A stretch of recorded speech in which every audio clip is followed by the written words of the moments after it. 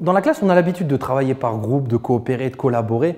Et là, il y a vraiment un cran supérieur parce que ce n'est pas le maître, c'est ce que je leur disais dès le départ. Ce n'est pas moi qui vais apporter les réponses, ce n'est pas moi qui vais dire vers quoi on a envie de se diriger pour chercher, c'est vraiment eux. Et donc là, on sait qu'individuellement, ils s'en sont rendus compte, notamment aussi par les, relations avec le chercheur, que c'est un vrai travail d'équipe, qu'on peut y aller qu'en équipe, qu'on doit partager les connaissances. Alors quand je parle d'équipe, c'est les groupes de classe, mais c'est peut-être avec des échanges avec d'autres classes, avec des choses de la maison.